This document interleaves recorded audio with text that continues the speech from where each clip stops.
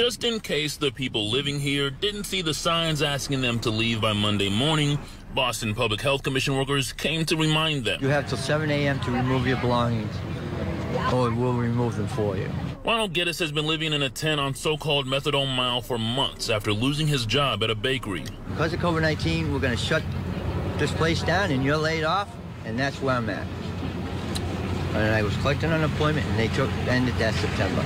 Now the city says his stay has also ended. In all of this, we have to identify beds and shelter for individuals. That's what is needed in terms of uh, the new encampment protocol. But these guys don't want to go. People don't want to live with sex offenders and, and, and, dirty people, unfortunately, and a lot of mental health cases. I'll put a tent somewhere else, then what are you going to do? I mean, I, I'm not, I don't want to do that.